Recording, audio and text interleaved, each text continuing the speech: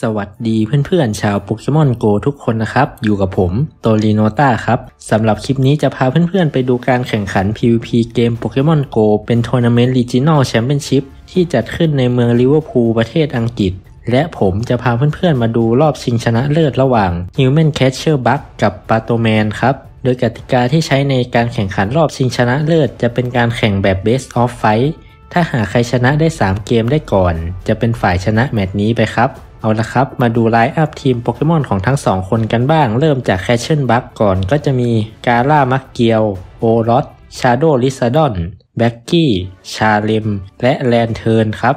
ส่วนไลน์อัพของปาโตแมนก็จะมีชาเลมทิวทาริสโอรสแลนเทิร์นกาล่ามักเกียว และโยโรโนสุขุครับ โดยทัวร์นาเมนต์ Regional Championship นี้เป็นทัวร์นาเมนต์ที่จัดขึ้นเพื่อคัดเลือกเอาอันดับที่ 1 และ 2 ไปแข่งต่อในรายการ Pokemon World Championship 2023 ที่โยโกฮาม่าประเทศญี่ปุ่นครับ ซึ่งสำหรับเพื่อนๆที่รอการคัดเลือกในโซนเอเชีย ต้องรอประกาศจากทาง Official อีกสักพักใหญ่ๆเลยครับเอาละครับเพื่อนๆ ตอนนี้สัญญาณเกมแรกมาแล้วเรามาเริ่มรับชมกันเลยครับ ลีดทั้งคู่ส่งมาเป็นกาล่ามักเกียวกับโยโรโนสุขุ ถ้าออกมาเป็นแบบนี้โปเกมอนทางฝั่งของแคชเชนบัคได้เปรียบ แล้วปัตโตแมนตีสู้ไม่เปิดเซฟสวิตแบบนี้จะมีแผนอะไรในใจหรือเปล่า กาล่ามักเกียวได้เปิดก่อนด้วยท่าผาทลายครับ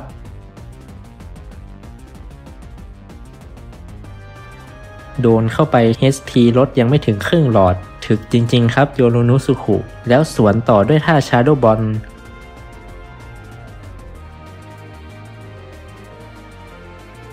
ซึ่งท่า Shadow Ball นี้ก็เป็นท่าที่ใช้ทำ damage ใส่โปเกมอนที่แพ้ทางได้ดีครับ พวกกาล่ามักเกียวแลนเทิร์นหรือเดจิสติล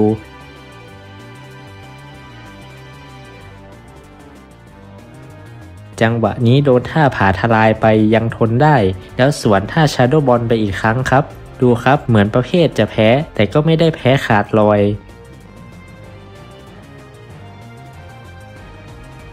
แคชเชนบัคฟาร์มเอเนจีให้ได้เยอะๆ แล้วกดท่าผาทลายปาโตแมนยอมปล่อย KO ไปครับ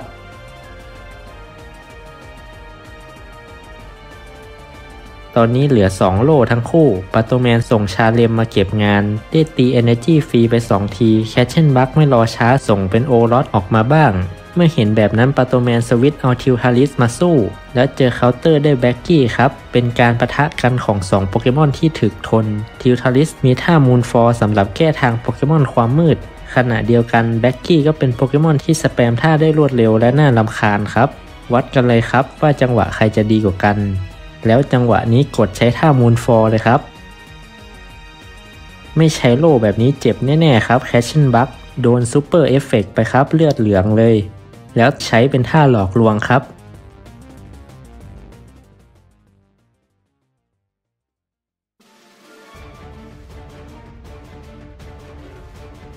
ตีเก็บ Energy ตีเก็บ Energy กดใช้ท่าหลอกลวงอีกครั้ง คราวนี้ปาโตแมนกดใช้โล่ แบบนี้เหมือนจะเสียเปรียบหน่อยๆแล้วครับ ฟาร์มเอเนจีให้ได้เยอะๆ แล้วสวิตเปลี่ยนพร้อมกันเลยครับ โอรสกับชาเลม เจอท่าหมัดเยือกแข็งไปก่อน เก็บโล่ไว้ ทนได้ครับ ตีเก็บเรจี้แล้วฟาร์มเอเนจีให้ได้เยอะๆ แล้วกดพร้อมกันเป็นโอรอทที่ชนะ CMP เลยได้ปล่อยท่า Shadow Ball ก่อน จังหวะนี้ถ้าไม่ใช้โล่ KO แน่นอนครับ โปเกมอนตัวสุดท้ายเป็นทิลทาลิสที่ตุนท่าชาร์จเอาไว้ มาถึงกดใช้ God Bird เลยครับ Catcher Bug เหลือโล่อยู่ 2 โล่กับปริมาณ Energy ของโอรอทแบบนี้กดใช้โล่กันไว้ครับ แล้วใช้เป็นท่า Shadow Ballปาโตแมนต้องยอมจ่ายโล่สุดท้ายไปครับ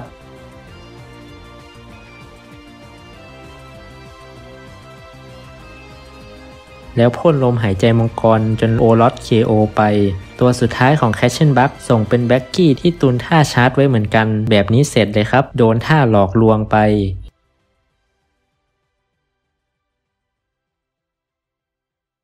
และเป็น Human Catcher Bug เก็บเกมแรกขึ้นนำไปก่อน 1 ต่อ 0 เกม ในเกมที่ผ่านมา Catcher Bug ทำได้ดีมากๆ ตอน turn ของโอรอทที่เลือก farm Energy ให้ได้เยอะๆ จนสามารถใช้ท่า Shadow Ball เพื่อเปิดโล่สุดท้ายของปาโตแมนได้แล้วส่งแบล็กกี้มาเก็บงานครับ เอาละครับ ตอนนี้มาต่อกันที่เกมที่ 2 กันเลยครับ lead มาเป็นโอรอททั้งคู่ แบบนี้จังหวะวัดใจกันละครับ มาดูกันครับว่าโปเกมอนของใครจะชนะ CMP ซึ่งถ้าโปเกมอนตัวไหนพลังโจมตีเยอะกว่า ก็จะชนะ CMP ไปครับ ตีเก็บเอเนจีตีเก็บเอเนจีให้ได้ท่า Shadow Ball แล้วกดพร้อมกัน เป็นปาโตแมนที่ชนะ CMP ครับ หลอกปล่อยเป็นท่าระเบิดเมล็ดพืช ทางด้าน Catcher Bug ใจแข็งไม่กลัวว่าจะเป็นท่า Shadow Ball เลยไม่ใช้โล่ด้วยครับ แล้วโดนคืนบ้าง คราวนี้ปาโตแมนเลือกที่จะ play safe กดใช้โล่กันไว้ พอตัดโล่ไปได้หนึ่งโล่แล้ว Catcher Bug เปิด safe switch ส่งเป็นแบล็กกี้ออกมา ส่วนปาโตแมนสวนด้วยชาเลมครับ แม้ว่าชาเลมจะชนะทางที่ท่าเร็ว แต่ด้วยท่าชาร์จที่เลือกเป็นหมัดเยือกแข็งกับ Psychokinesis ทำให้ไม่ใช่เรื่องง่ายที่จะเอาชนะแบล็กกี้ได้ครับ farm Energy แล้วกดใช้ท่าหลอกลวง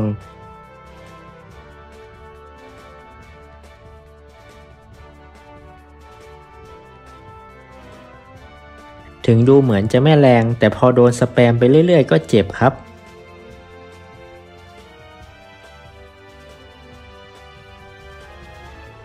นี่ครับหลอกลวงรอบที่ 2 แป๊บแป๊บเลือดเหลืองแล้วครับปาโตแมนพยายามคำนวณ stack ให้แบล็กกี้เหลือ HP พอดีกับ damage ของท่าหมัดเยือกแข็ง แต่โดนท่าหลอกลวงไปอีกรอบครับ เลือดแดงเลยแบบนี้เผลอๆจะ KO เอานะครับ มาดูกันว่าจะทันหรือเปล่า แล้วกดเป็นท่าหมัดเยือกแข็ง Catcher Bug ไม่ใช้โล่ แต่โดนไปยังไม่ KO ครับ ต้องยอมจ่ายท่าหมัดเยือกแข็งไปอีกรอบ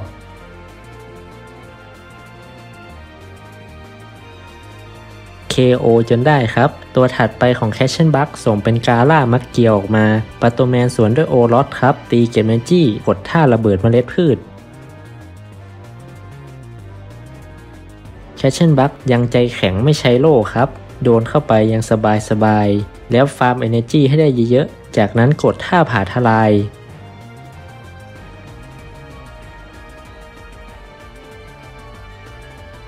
ปาโตแมนต้องยอมปล่อย KO ครับ เพราะถ้าแลนเทิร์นไม่เหลือโล่ไว้สู้กับคาร่ามักเกียวจะลำบาก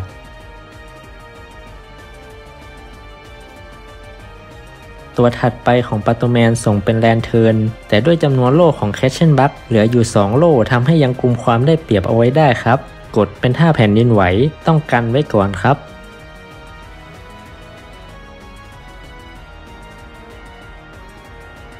โดยหนทางเดียวที่จะทำให้ปาโตแมนสามารถพลิกสถานการณ์กลับมาได้ คือการสวิปเอาชาเลมออกมาในจังหวะที่กาลาร์มัคเกียวปล่อยท่าชาร์จแผ่นดินไหวครับ ซึ่งแน่นอนว่าแคชเชนบัคก็ต้องระวังจังหวะผิดพลาดนี้ให้ดีด้วย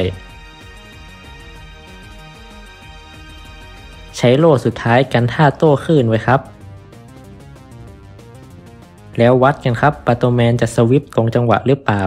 กดเป็นท่าแผ่นดินไหวแล้วสวิปตัวไม่ทันครับ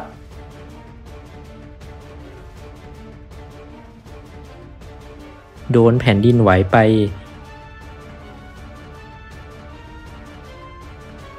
และเรียบร้อย Human c a t c h Bug เอาชนะไปได้ ขึ้นนำเป็น 2 ต่อ 0 เกม เกมนี้วัดกันที่จังหวะสุดท้ายจริง ๆ ครับ ประกอบกับแบล็กกี้ของ c a t c h Bug ที่วางไว้เป็นตัว safe switch ทำหน้าที่ได้ดีมาก ๆ ครับ ปั่นป่วนคู่ต่อสู้ได้อยู่หมัดเลยครับ มาครับเกมถัดไป Catcher Bug ต้องการอีกเกมเดียวที่จะเป็นแชมป์หรือปาโตแมนจะตีตื้นขึ้นมาได้ มาเริ่มรับชมกันเลยครับ lead มาเป็นแบล็กกี้กับโยรุโนซุคุโปเกมอน 2 ตัวนี้เจอกันค่อนข้างสูสีกันเลยครับ ถึกทนพอกันทั้งคู่ แพ้ชนะขึ้นอยู่กับว่าจะเปิดโล่หรือไม่เปิดถ้าสู้แบบเปิดหนึ่งโล่แบล็กกี้จะได้เปรียบ แต่ถ้าสู้แบบไม่ใช้โล่โยรุโนซุคุจะได้เปรียบครับ แล้วไม่ใช้ safe switch แบบนี้แลกกันไปเลยสิครับ หลอกลวงไปก่อน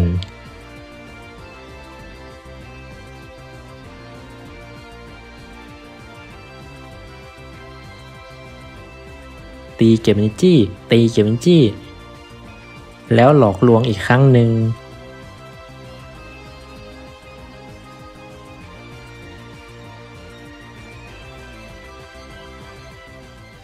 ตีเก็บเอนจีสวนด้วยท่าก็อดเบิร์ดแลกกันไปครับ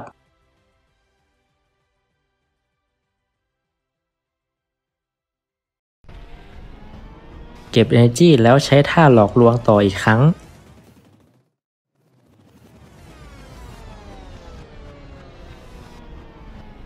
เลือดแดงแล้วครับ วัดกันไปเลยว่าใครจะชนะ ตีเก็บเรจี้ ตีเก็บเรจี้ แล้วกดกอดเบิร์ด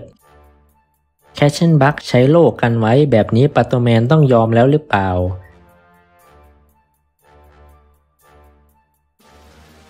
กดท่าหลอกลวงไปอีกทีครับ แต่ปาโตแมนเลือกใช้โล่กันไว้ แล้วดูค่า HP ครับ ไม่เหลือแล้วแบบนี้จะเป็นการตัดสินใจที่ผิดพลาดหรือเปล่า แล้วนั่นนะครับ KO turn นี้เสียหายหนักเลยครับปาโตแมน ตัวถัดไปส่งเป็นชาเลมมา farm Energy จนแบล็กกี้ KO ไปครับ Catcher Bug ส่งเป็นโอรอทออกมา แบบนี้ได้เปรียบเลยครับ โดนท่าหมัดเยือกแข็งไปก่อน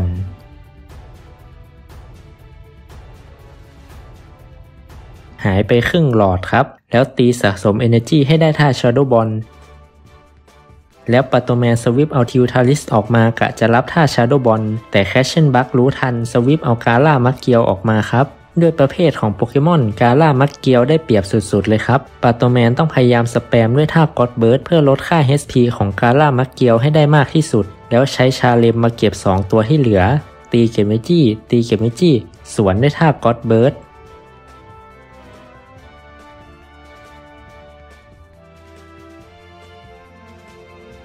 แล้วตีเก็บเมจี้ ตีเก็บเมจี้ โดนท่าผ่าทลายอีกครั้ง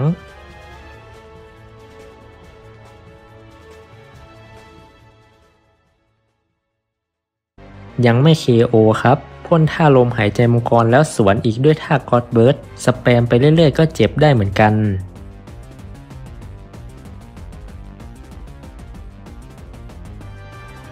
Catchenbug ทนไม่ไหวไม่ farm energy แล้วครับ รีบปิดบัญชีด้วยท่าผ่าทลาย ทิวทาริส KO ไปก่อนครับ ตัวสุดท้ายของปาโตแมนส่งเป็นชาเลม แล้วเพื่อไม่ให้ได้ farm energy Catchenbug รีบสวิปเอาโอลอตออกมาครับ รอบนี้ต้องใช้โล่สุดท้ายกันไว้ครับมาครับ วัดกันว่า stack ใครจะถึงก่อน ตีเก็บ energy แล้วกดเป็นท่า Shadow Ball ปาโตแมนจะใช้โล่หรือเปล่า แล้วไม่ใช้แบบนี้โดน Shadow Ball เข้าไป KO ครับเรียบร้อย และแชมป์ Pokemon GO Regional Championships ลิเวอร์พูลได้แก่ Human c a t c h e n Bug ครับ สุดๆ ไปเลยครับ เกมสุดท้ายสามารถรักษาความได้เปรียบและเอาชนะมาจนได้ครับ ดูครับดีใจจนตกเก้าอี้ไปเลยสุดเหวี่ยงจริง ๆ ครับ เป็นยังไงกันบ้างครับเพื่อนๆ สนุกกันหรือเปล่ากับทัวร์นาเมนต์ที่ลิเวอร์พูลส่วนรอบหน้าผมจะเอาทัวร์นาเมนต์ที่ไหนมาให้ดูต้องรอติดตามนะครับสำหรับคลิปนี้ผมคงต้องขอตัวลาไปก่อน ขอให้โชคดี เจอโปเกมอน shiny นะครับ สวัสดีครับ อย่าลืมกดไลค์ กดแชร์ กด Subscribe พร้อมทั้งกดกระดิ่ง เพื่อไม่ให้พลาดคลิปต่อๆไป และเป็นกำลังใจให้กันด้วยนะครับ